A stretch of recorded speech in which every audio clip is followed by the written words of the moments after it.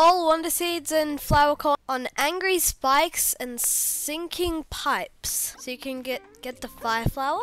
So in the background there, so if you kill that guy, then you can go up that pipe at the, up the top and you'll be in the background. So I'm literally in the background and that's how you get the first flower coin. Okay, got the fire flower. Okay, up here is the second one. So you can just throw the fire flower and kill the spiny. Got the checkpoint. Up here in this hole in the ceiling. Just a lot of coins up there. And there's the last flower coin. Then if you go on this pipe, you can just let it go down and write it down. This does not seem good, but it's actually good because you can get the wonder flower.